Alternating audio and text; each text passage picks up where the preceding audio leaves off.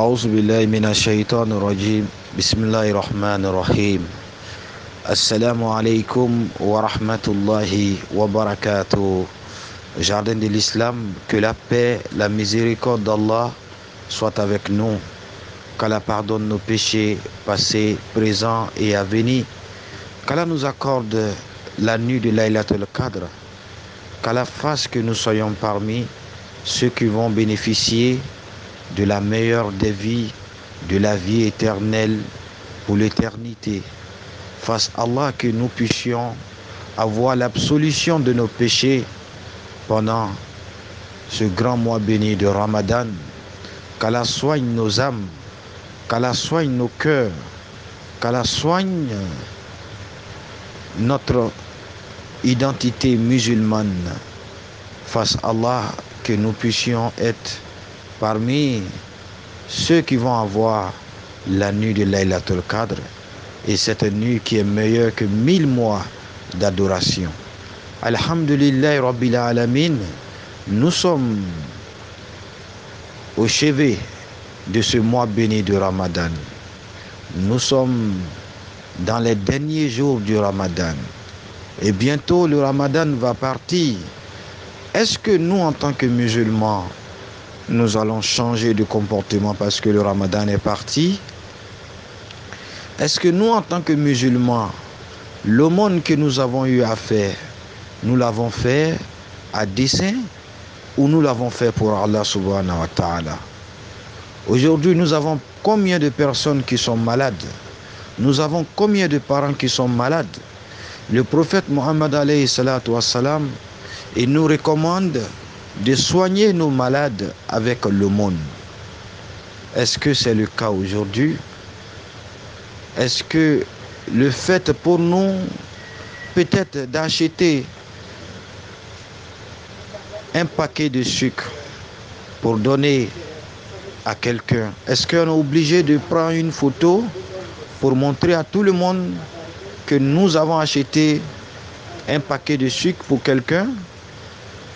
Est-ce que nous sommes obligés de prendre une photo avec quelqu'un lorsque on offre une boîte de lait à cette personne? Aujourd'hui, où est passée la magnanimité, la générosité, la libéralité de la communauté musulmane? Et nakava ko bi ye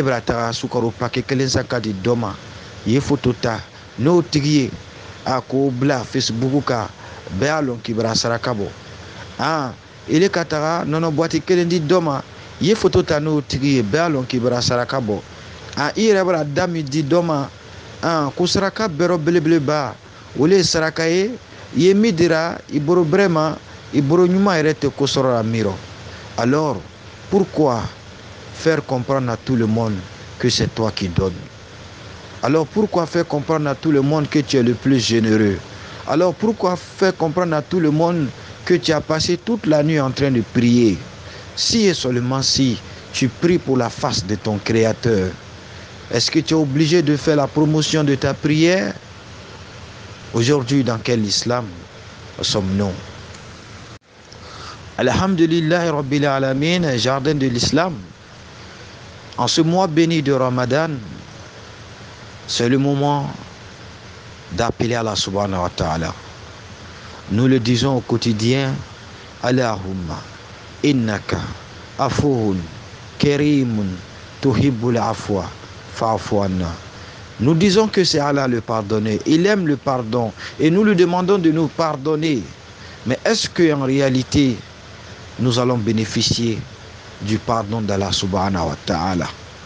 Si nous ne sommes pas la richesse de la face de ce Créateur suprême. Aujourd'hui, tous ceux qui donnent, est-ce qu'on donne pour Allah subhanahu wa ta'ala? C'est ce que nous devons revoir. Nous allons vous partager l'histoire d'un monsieur dont le fils souffrait de la maladie du cancer. Son fils souffrait du cancer un enfant de 6 ans qui a le cancer.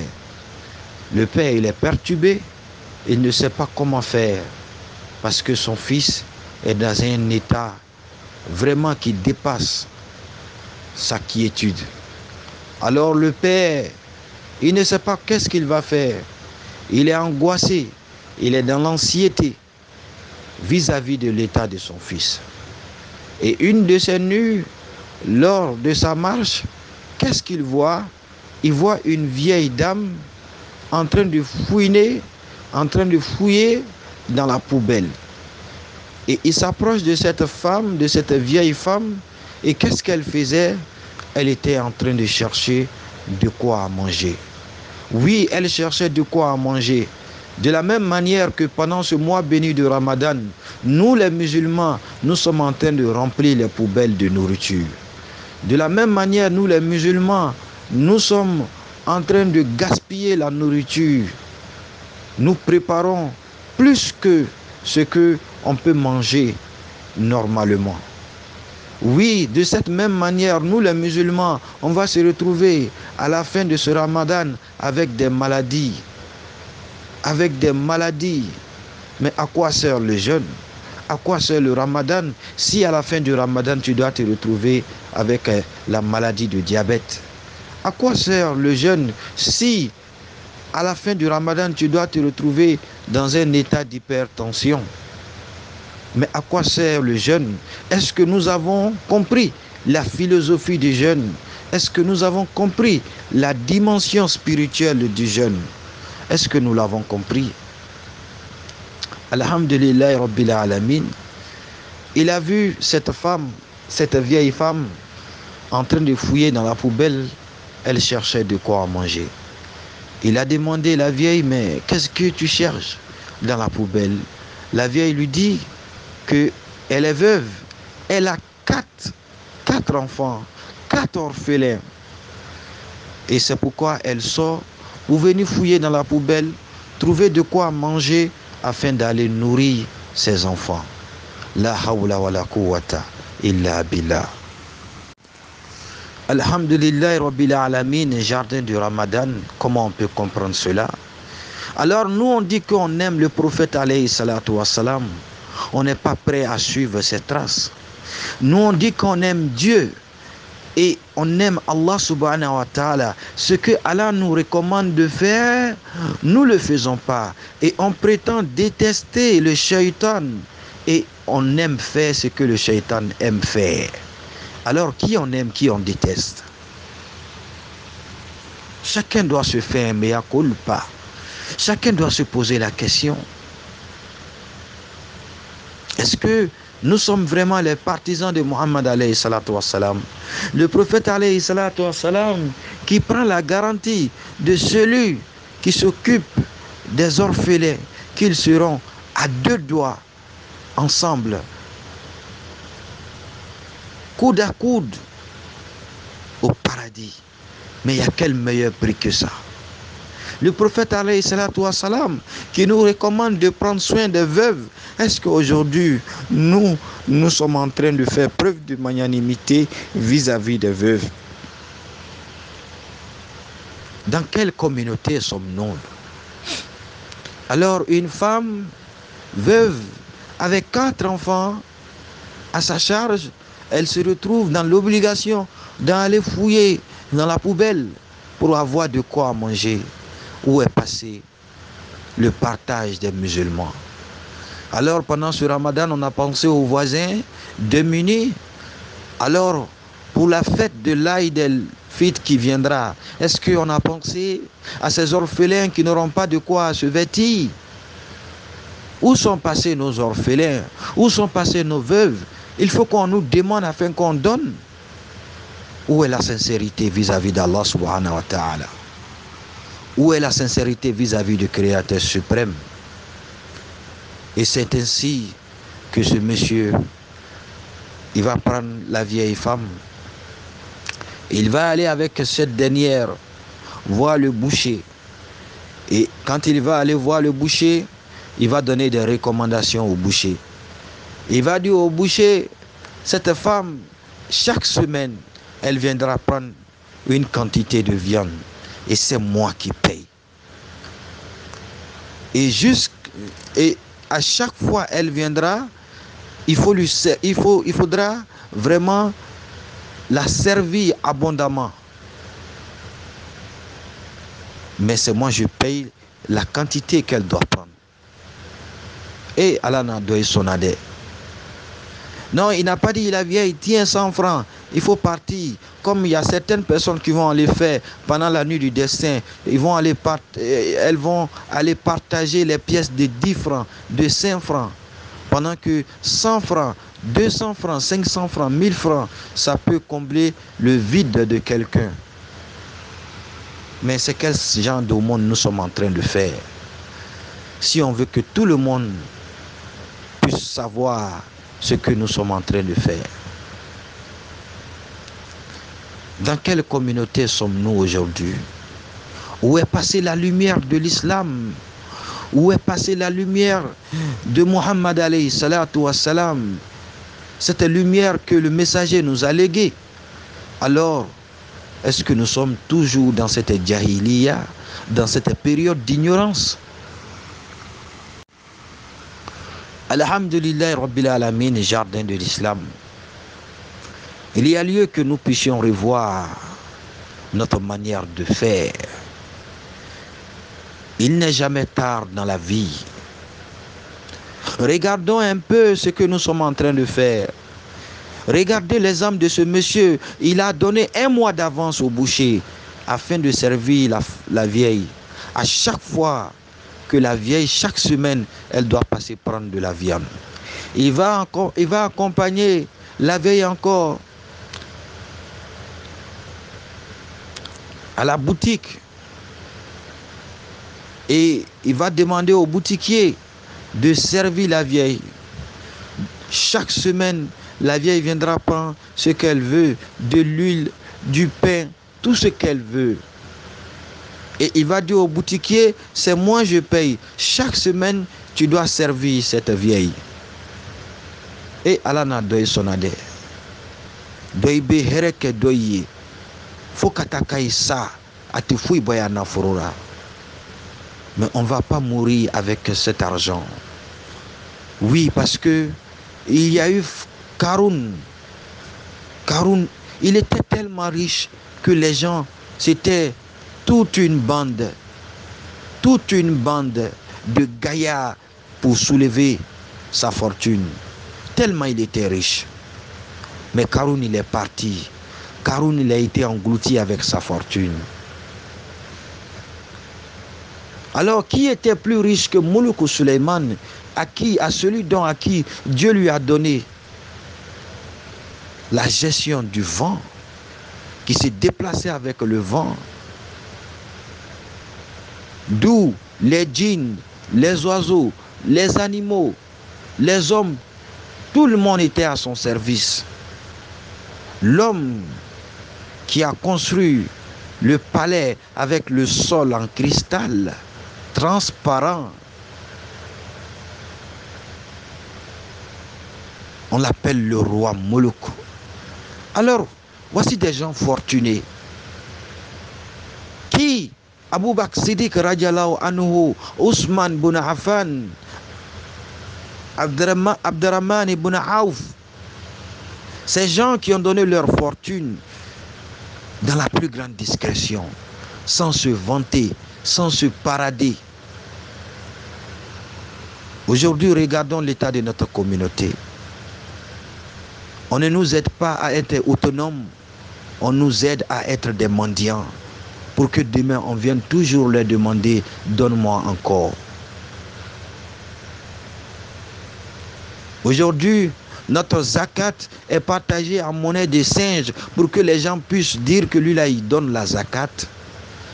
Au lieu de donner à une personne qui est dans la misère et faire sortir cette personne dans la misère afin que dans la chaîne cette personne là aussi puisse faire sortir une autre personne encore dans la misère jusqu'à ce que la pauvreté puisse être anéantie du système humanitaire. Où est la générosité? Où est le monde? Quand le prophète nous recommande de soigner nos malades avec le monde. Mais c'est quel monde aujourd'hui on fait? Où on va avec cette religion Chers musulmans? Alhamdulillah. Le même monsieur, il va continuer encore avec la vieille, il va aller voir son couturier. Il va demander au couturier de vêtir cette vieille femme. Il va demander au couturier chaque six mois de vêtir cette femme avec ses quatre orphelins. Et c'est lui qui paye la facture. Allahu Akbar. Regardez la dimension de la grande générosité. Regardez ce que ce monsieur, il a vu une vieille femme en train de fouiller la poubelle afin d'avoir de quoi manger. Une femme veuve, une femme qui a quatre orphelins à sa charge. Il n'a pas dit, tiens, 100 000. Il n'a pas dit, tiens, 50 000 francs. Il n'a pas dit, tiens, un sac de riz pour que demain encore tu puisses venir me demander, mon sac de riz est fini, donne-moi encore un sac de riz. Il n'a pas dit, tiens, un paquet de sucre. Pour que demain encore, tu viennes me dire, donne-moi encore un paquet de sucre. C'est pas ce qu'on dit dans notre langage. Alors, au lieu d'offrir toujours le poisson, le poisson à ton fils, alors apprends la pêche à ton fils de telle en sorte qu'il puisse être autonome avec sa canne, qu'il puisse connaître la patience aussi de la pêche, la persévérance aussi dans la pêche et qu'il puisse connaître aussi à quel moment il faut se laisser diriger par la maison et prendre le poisson là où il le faut, comme il le faut, et manger à satiété. Est-ce que c'est le cas aujourd'hui chez nous les musulmans? Aujourd'hui, c'est le nom qu'on cherche, le patronyme de la générosité. Où on va? Dans quel islam sommes-nous?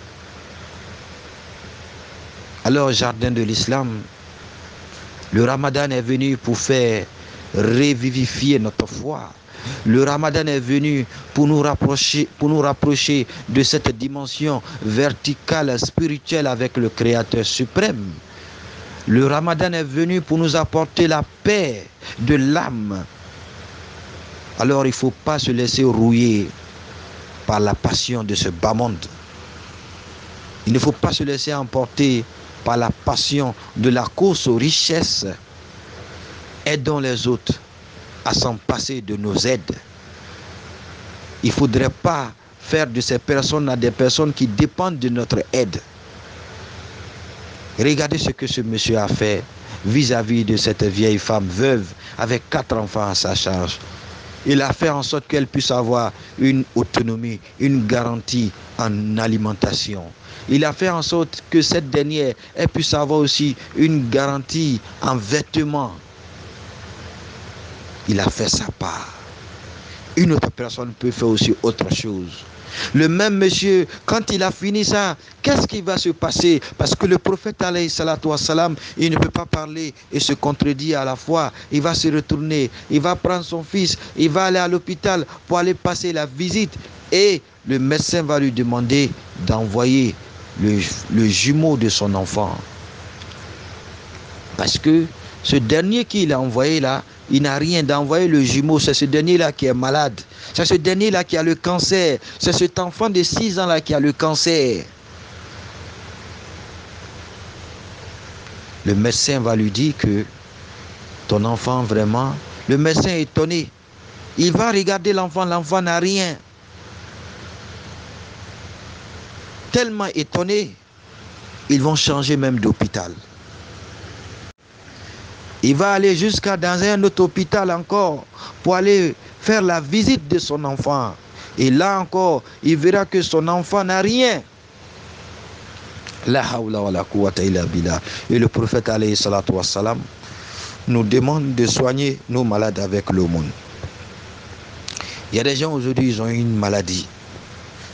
Chaque fin du mois, ils sont obligés d'aller voir le médecin. Il y a des gens qui se promènent avec des comprimés.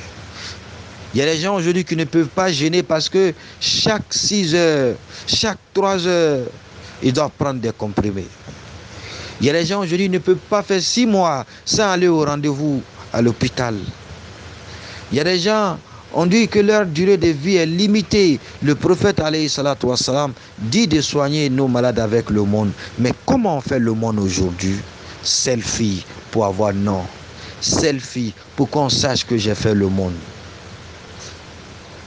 Alors qu'est-ce qu'on recherche? La face du Créateur ou la face des créatures? C'est déplorable.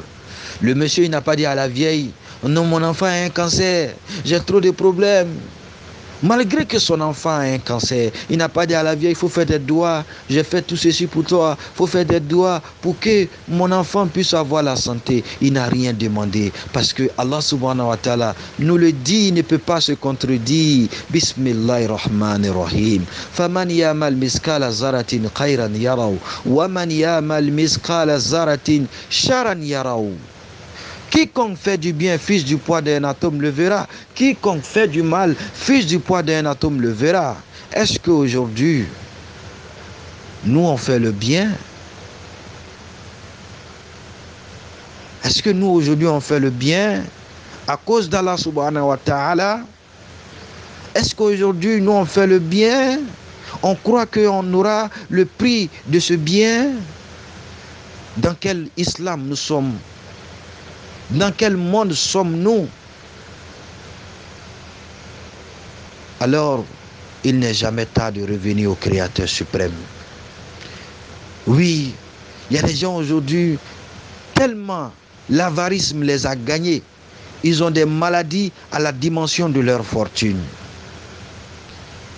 C'est des gens qui ont des maladies de 5 millions, 6 millions, 7 millions, 8 millions, 10 millions, parce qu'ils ne veulent pas donner. Ils ne veulent pas se débarrasser de cet argent. Ils sont en train d'adorer cet argent. Et Dieu les a donné une charge à la dimension de leur avarisme.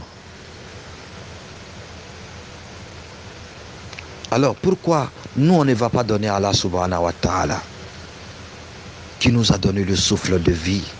Alors qui peut payer la facture du souffle de vie? Alors qui peut payer la facture de la santé? Regardons dans les hôpitaux les malades aujourd'hui. Alors qui peut payer la facture de l'énergie des pieds? Regardons aujourd'hui les handicapés. Ce monsieur, Allah a fait disparaître le cancer de son enfant. Mais qui sait que Muhammad wassalam, il nous recommande de soigner nos malades avec le monde. Nous sommes au Ramadan. Il n'est jamais tard à la famille de se rattraper. Il n'est jamais tard de revenir au Créateur suprême. Il n'est jamais tard de faire les choses dans la seule objectif d'avoir la récompense d'Allah subhanahu wa ta'ala, d'avoir la satisfaction d'Allah subhanahu wa ta'ala. On ne peut pas prétendre avoir la réussite éternelle si on n'est pas en amont avec notre Créateur suprême, si on n'est pas en concordance avec notre Créateur suprême. Alors il est temps de suivre les prescriptions de Muhammad alayhi. Oui, l'enfant avait le cancer grâce à l'aumône de son père l'enfant n'a plus le cancer. Il y a certaines personnes, les, médecins les ont dit que tu ne vas pas t'en sortir, tu ne vas pas avoir d'enfant, tu ne vas pas avoir d'enfant, tu ne vas pas réussir. Mais ces personnes ont eu des enfants, ces personnes ont été guéries. Les médecins ont dit à certaines personnes, tu ne vas pas sortir de cette maladie-là. Ces personnes se sont levées, ces personnes sont en train de marcher. Mais il faut que ces personnes-là se demandent, mais après tout ce que la science a démontré. Mais pourquoi j'arrive aujourd'hui à avoir tous ces bienfaits? La hawla wa la billah. Alors profitons du ramadan, ne laissons pas le ramadan partir sans faire preuve de repentance, sans faire preuve de sincérité vis-à-vis d'Allah subhanahu wa ta'ala. Nous sommes au jardin de l'islam. Nous sommes au jardin du ramadan. Et notre objectif, c'est d'avoir la satisfaction d'Allah subhanahu wa ta'ala. Faisons le monde à cause d'Allah et Allah va soigner nos personnes malades, nos mamans qui sont âgées, nos papas qui sont âgés, nos grands-pères, nos grandes-mères. Allah va les donner la santé là où on ne s'imagine pas. Faisons le monde pour avoir la face d'Allah. Pensons à ces veuves, pensons à, son, ces orphelins, afin que Allah puisse régler aussi nos situations quotidiennes. Qu'Allah nous aide. Wassalamu alaikum wa rahmatullahi wa barakatuh. Jumma Mubarak.